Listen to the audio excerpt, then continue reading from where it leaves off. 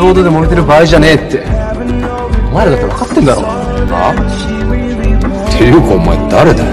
はてめえ今まで散々一緒に戦ってきたじゃねえか言ったやろ。髪型変えたら誰か分からんってだって俺って女にモテないっすよ。前から急ぎんちゃャクったら何が残んだよ。